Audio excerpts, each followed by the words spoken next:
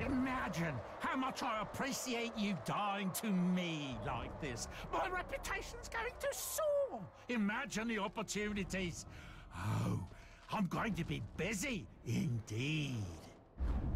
What the hell happened to the Nemesis system? As a matter of fact, whatever happened to the Wonder Woman game? If You guys have never heard of this, I mean very few people have, so I'm not surprised in the slightest, in case you had no idea. So the Nemesis system is a system that's very unique to the Middle-earth game. Shadow of War, Shadow of Mordor, I think is what it's called. I don't know. Either way, very unique system that is not replicated in any other game. As a matter of fact, a couple of years ago, after Shadow of War, or maybe it might have been during that game's development, Warner Brothers came out and put a patent specifically on that system so that way no game can come remotely close to what that system does. And what that system does is it's very unique in the sense that every character you come across has its own personality, its own name, its own traits, its strengths, its weaknesses. There's a hierarchy in the game, so whenever you take out captains or war chiefs, they are then replaced by other orcs or uruks or whatever the fuck you call them. And likewise, that orc has its own name, its own personality, its own strengths, weaknesses. Sometimes if a normal orc kills you, it gets promoted to become a captain, becomes stronger, has its own strengths and weaknesses, and then just like that, continues to go through the hierarchy.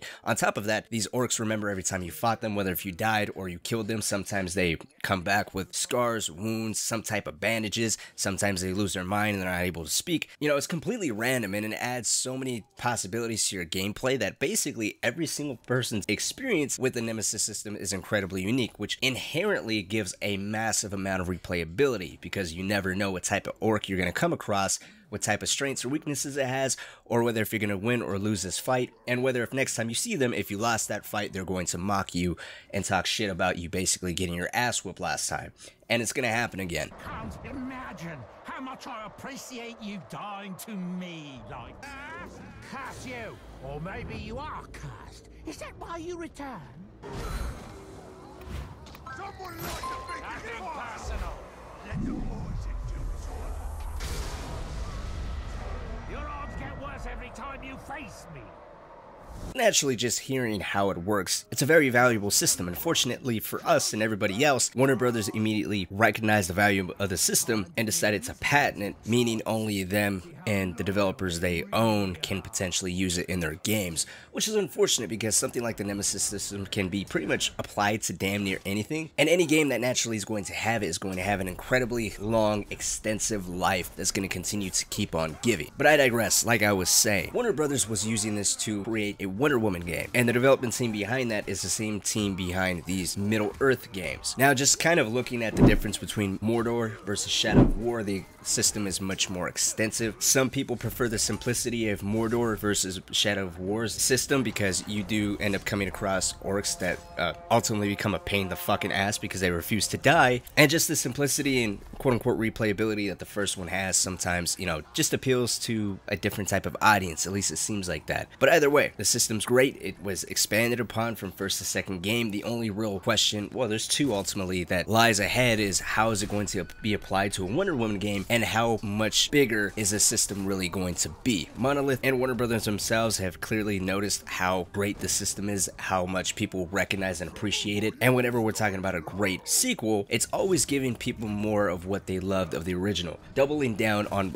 you know, that that specific trait that brings people in. I kind of want to apologize. I jumped the gun a little bit. There's no confirmation that the Nemesis system is actually even going to return in this Wonder Woman game. The only hint that we have about that potentially coming back is earlier this year, the narrative director behind this game, Tony Elias, posted a new job offering, and within that job offering description, it did mention procedural content as well as procedural conversations and procedural dialogue, all things that are inherent to the Nemesis system, so that kind of just allures to it returning. There's no confirmation, but considering that this system being as innovative and as really great as it can be to any type of game, considering all the amount of replayability that it has to bring to the table by itself, it hasn't been used since Shadow of War. Warner Brothers has the rights, no other game company can really use it without their permission, so it would make sense for it to be returning in the Wonder Woman game, considering how they expanded on it from Mordor to Shadow of War with new traits, new personalities, you know, being able to change the possibility of orcs surviving, betraying you, coming back to life, you know, constantly being able to remember you, come back with different types of scars or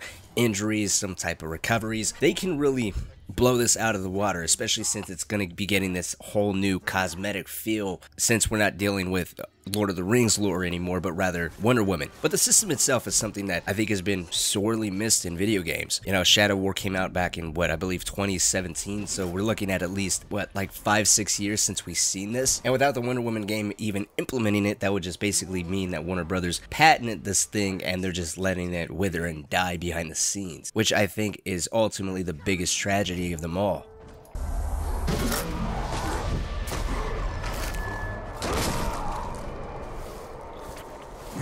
Debt now, Ranger. I expected to be paid in full.